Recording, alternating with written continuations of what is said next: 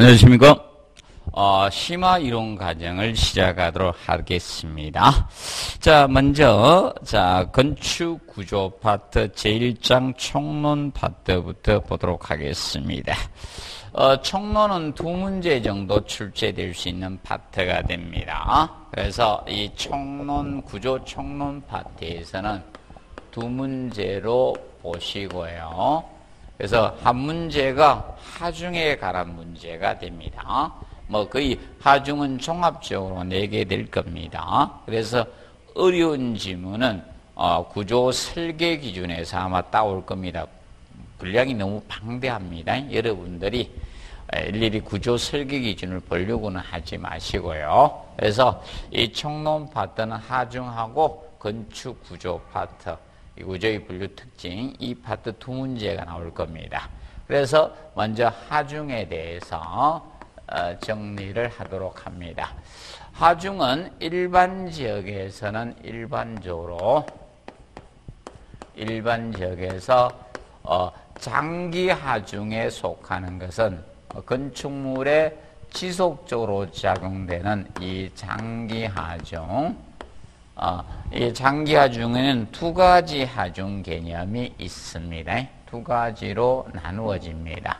바로 어, 첫 번째 이 고정 하중, dead load인 고정 하중 개념이 있습니다. 고정 하중. 그래서 이것을 dead load에서 사중이라고도 표현을 합니다. 그런데 거의 99.9% 고정 하중이라고 쓰게 됩니다.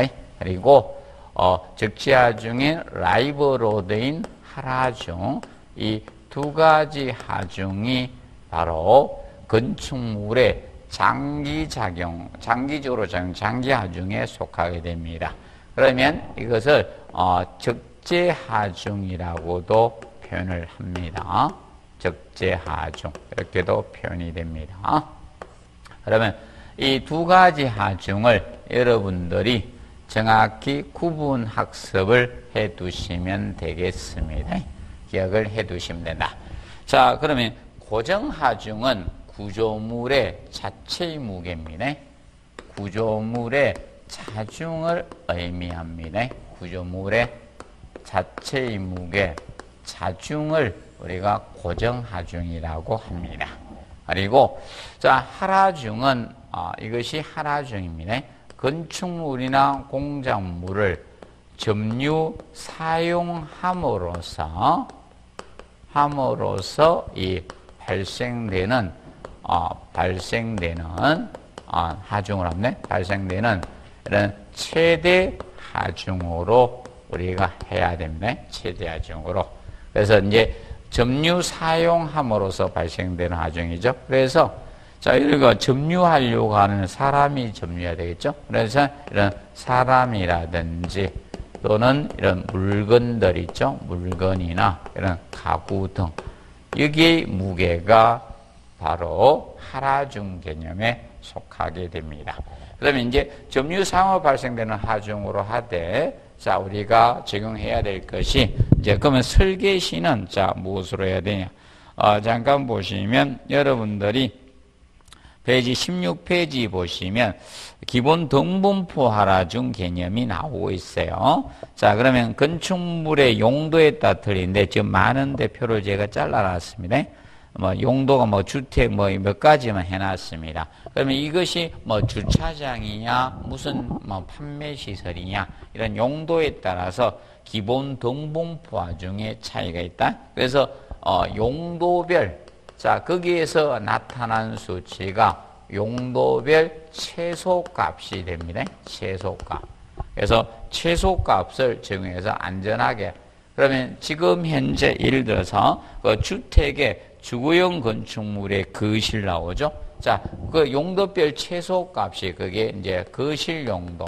거실 용도가 2kg 유톤 퍼 제곱미터다 이겁니다. 그러면 이것이 최소 수치가 이거다. 이다 이 뜻입니다. 그러니까 이거 이상으로 설계하라 이거야.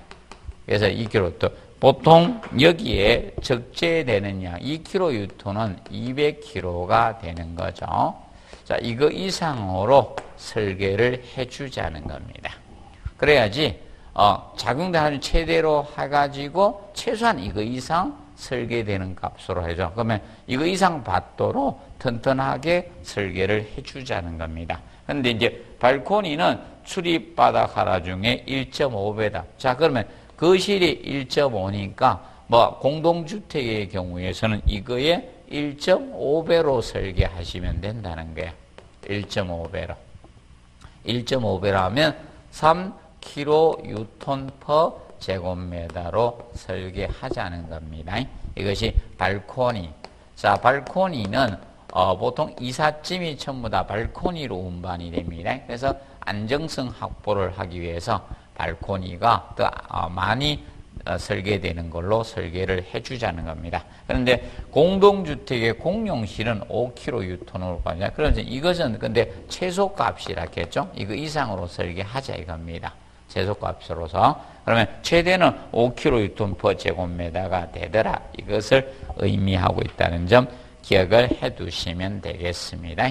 정리를 해 두시고요. 그 다음에 이제 비구조 부재들을 어떻게 볼 것인가? 비구조 부재. 그러면 어, 비구조 부재나 또는 어, 이런 건축 설비들, 건축 설비적인 측면은 우리가 봐두실 때 이것이 어, 이 경우 비구조 건축 설비는 어, 부착이 된 것들, 부착이 된 것들은 고정하중으로 봅니다. 그런데 어, 비구조 부재가 부착이 되지 않았다는 거예요. 비구조 부재나 건축 설비 파트가 부착이 되지 아니하는 것 이것은 우리가 어, 일반적으로 어, 하라중으로 보시면 된다. 그래서 부착 여부 가지고 따지면 됩니다. 그럼 예를 들어서 비구조 부재에서 들어서 칸막이 벽이었다. 그러면 칸막이 벽은 하중을 지지하지 않는 거죠. 그러면 예를 들어서 어, 조적조 칸막이 벽은 여기에 속하는 겁니다. 조적조 칸막이 벽은 바로 고정하 중에 속합니다.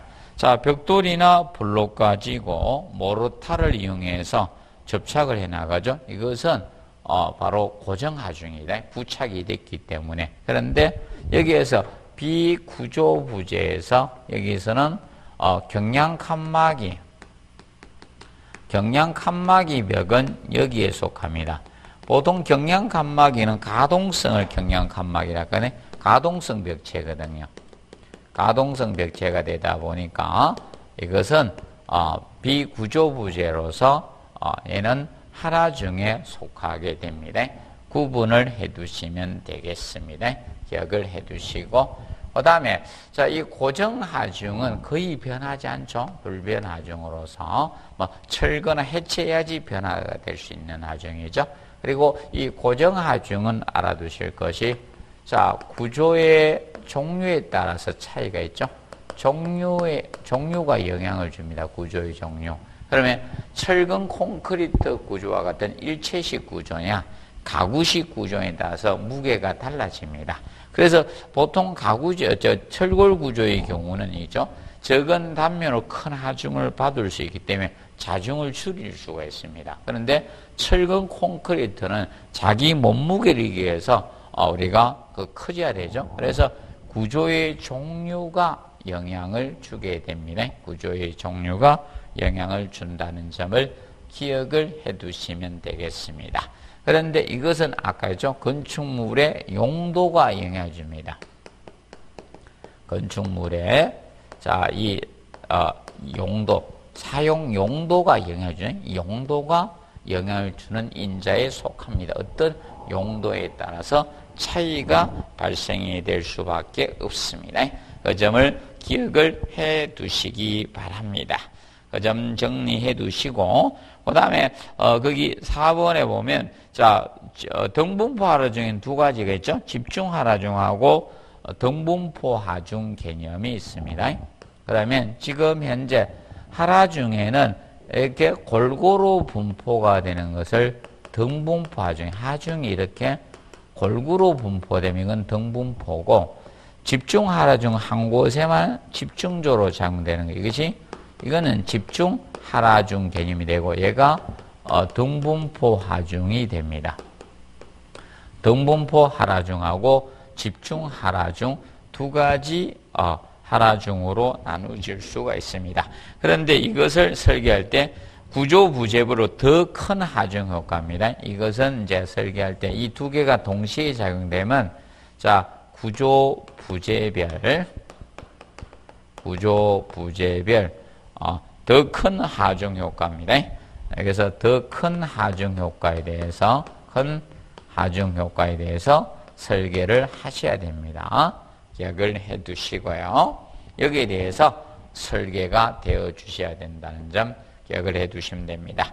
자, 그리고 어, 거기 보시면 어, 6번에 보시면 지붕 하라중을 제한 등봉포 하라중은 부재 영향 면적이 여기 오타가 쳐졌습니다.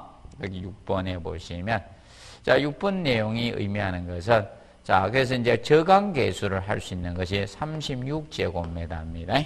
그래서 거기 오타 쳐졌으니까 수정 좀 합니다. 36입니다.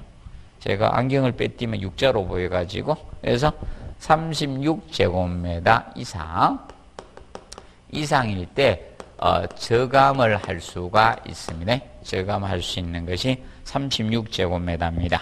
그러면 보통 영향 면적은 7번에 보시면 영향 면적에 대해서 나왔죠. 자, 보통 연직 하중 전달 부재에 하중 영향을 미치는 것을 바닥 면적으로 산정한 게 영향 면적입니다. 그럼 예를 들어서 기둥 기초의 경우, 보의 경우, 자, 틀려지죠? 그 이유는 이겁니다.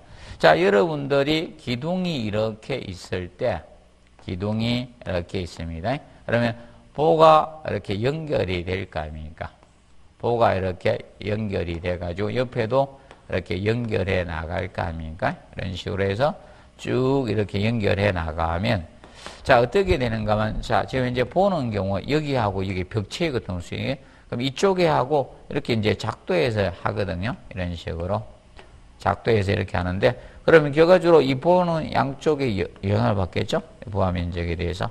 이렇게 보죠. 그래서 어 이제 기둥의 경우는 어 이제 이 자, 영향을 많이 받잖아요. 사면에서 다 받기 때문에 그래서 이제 영향 면적에 대해서는 그래서 알아두실 것이 거기 첫째 저기서 7번은 출제된 건 아닙니다.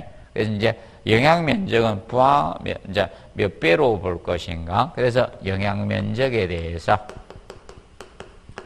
영향 면적에 대해서 어, 기둥이나 기초의 경우는 기둥이나 기초의 경우 기둥 기초의 경우는 4배입니다. 부하 면적의 4배로 보겠대, 그게.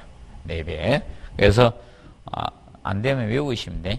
기사, 무슨 기사, 긴 기사, 무슨 기사면서 기사. 자, 그래서 이제 보. 자, 이제 보나 벽은 같이 갑니다. 그래서 보는 보, 벽, 그죠? 비업자 들어갑니다. 그래서 이거는 두 배입니다. 양쪽에 있으니까. 그래서 무슨 기사 이러면서 무슨 기사, 기사, 보이니 이러면 되죠? 보이, 보입니까? 이렇게 물으시면 되죠. 그리고 슬래버 바닥 면적은 1배로 가는 거예요. 그래서 이 파트는 시험에 언급이 없었습니다. 정리를 해 두시기 바랍니다. 구분 좀 해 두시기 바랍니다. 정리해 두시고. 그래서 이제 기본적으로 장기하중은 이 두 가지. 그러면 장기하중의 답의 유도는 하나중에서 유도시키는 경우가 더 많다. 이렇게 보시면 되겠습니다. 자, 그리고 이제 어, 세 번째 이제 적설하중부터 나오죠. 자, 그는 장기하중이고, 그 다음에 이제 단기하중. 건축물에 작용되는 하중 중에, 자, 이 단기하중, 나머지는 단기하중에 속하겠죠. 그래서 먼저 거기 보면 적설하중이 나오죠. 적설하중. 그래서, 어, 적설하중하고, 어, 그래서 적설하중. 눈이 어, 무게죠. 눈이 건축 미치는 영향이 적설 하중이 있고 그 다음에 지진 하중이 있고요. 지진 하중. 그리고 어, 풍하중 바람이죠. 풍하중이 뭐 대표적으로 있습니다. 그리고 뭐 충격 하중 이런 것도 되겠죠. 근데 뭐 다루지 이거는 종료할 때만 기억하면 돼. 충격 하중. 이런 것들이 단기 하 중에 속합니다.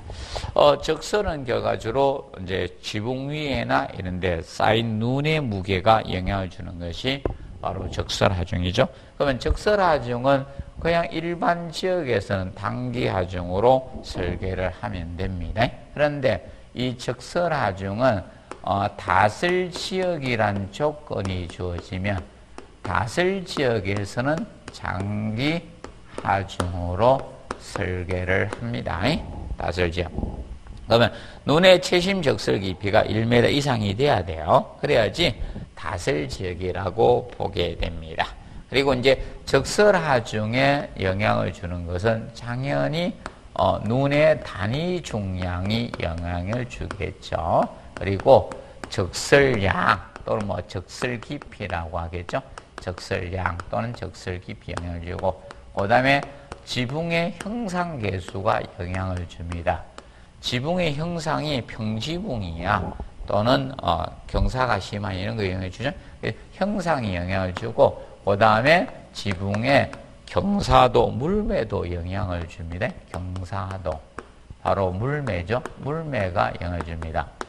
자, 물매가 경사가 많이 지면 적설하중은 적어집니다. 그런데 경사가 완만해지면 물, 뭐가 됩니까? 적설하중 더 크게 봐야 돼. 설계를 해야 됩니다. 그래서 눈이 많이 오는 지역일수록 어떻게 한다? 이렇게 경사를 둬서 지붕을 만들어야 돼요. 그래서 이런 형태 이거 만들면 안 좋습니다. 이거는 눈을 모으겠다는 거죠. 이런 지붕은 다슬 지역에서는 좋지 않는 지붕의 형태다. 이렇게 보시면 되겠습니다. 기억을 해 두시고요. 그 다음에 어, 적설하중은 재현기간이 자, 어, 재현기간이라는 것은 현재를 기준으로 과거 100년간 데이터를 하겠다는 겁니다. 최근에 몇 년간 우리 지방에 눈이 안 왔다고 적설하중을 제로로 설계하면 안 되겠죠. 그래서 재형 기간은 100년입니다. 100년. 자, 그래서 이제 기본적으로 알아두실 것이 이겁니다.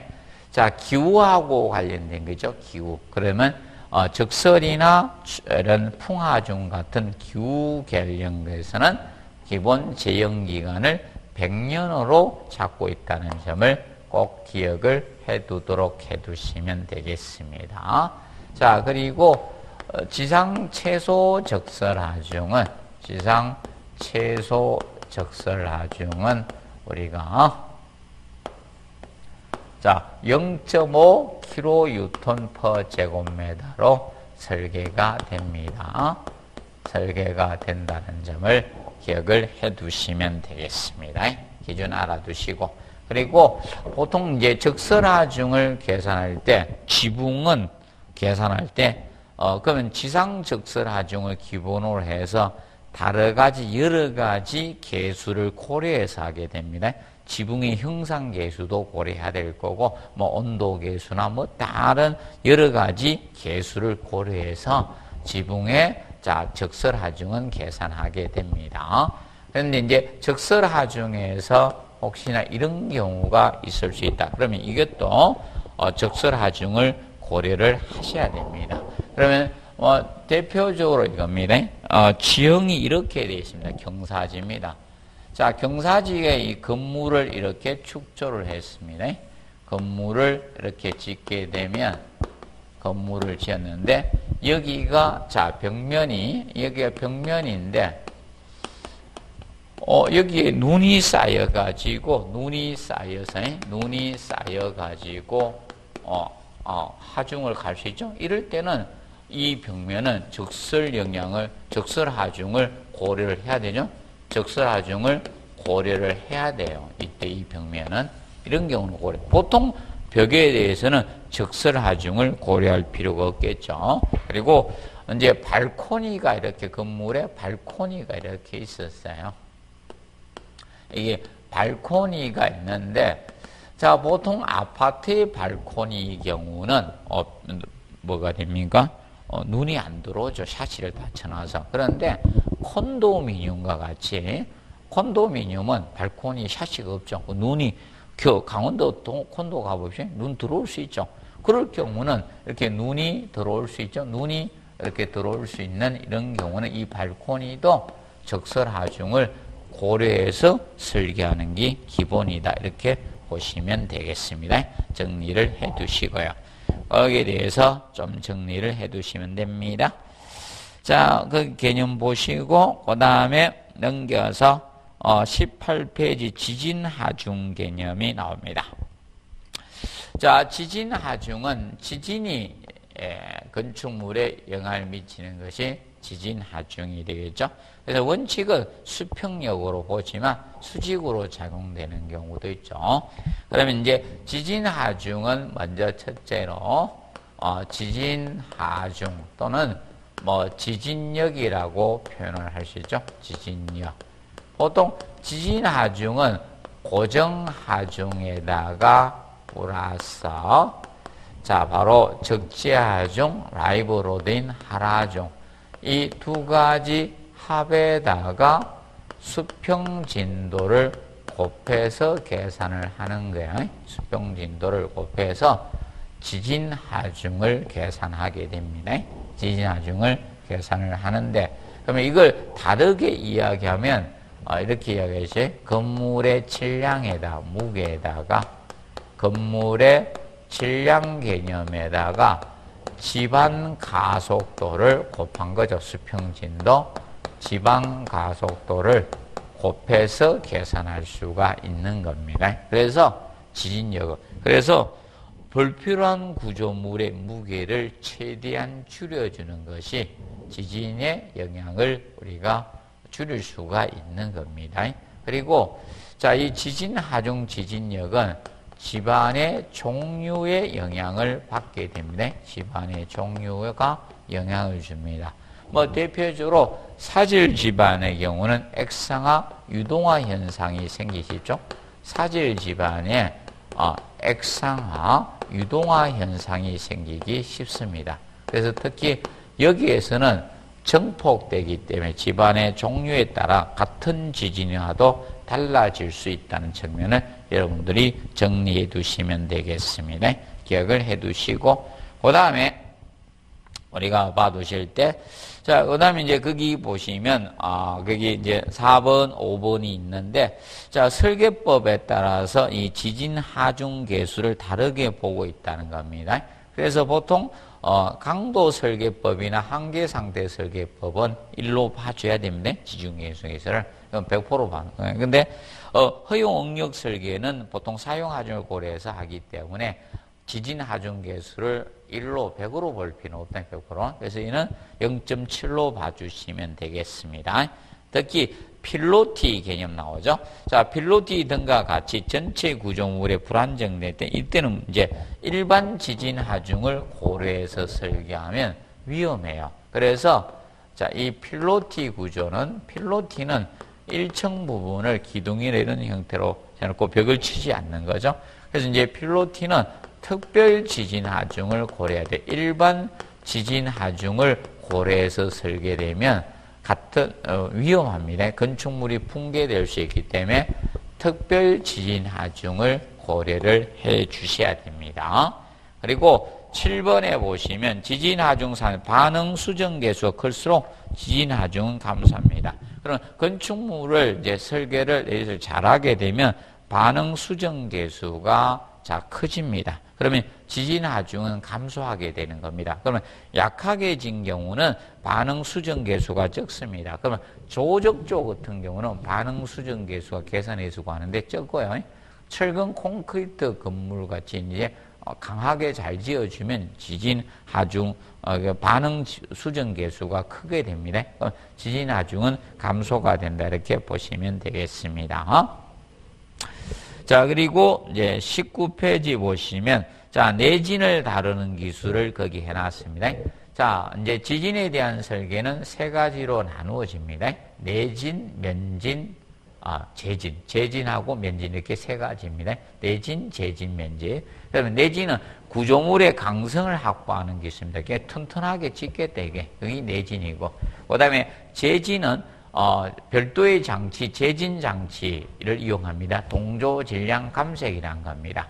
그래서 여러분들 추의 원리를 활용하는 거다 여러분. 그래서 재진 기술은 초고층 건물에 사용합니다. 그래서 이제 대형 건물이 초고층 건물에 위에다가 엄청난 추무게를 중간에 설치하는 겁니다. 위에다가. 그래서 대략 어, 그한 600톤에서 한 1000톤 정도 됩니다. 그 무게를 설치해서 어래 잡아주는 거예요. 그럼 보통 지진이 나면 똑같은 지진이 나도 상층은 엄청나게 흔들림이 많습니다. 그러면 상층에 멀미 나요. 못 삽니다. 지진 나면. 그래서 어, 이런 재진 장치를 설치합니다.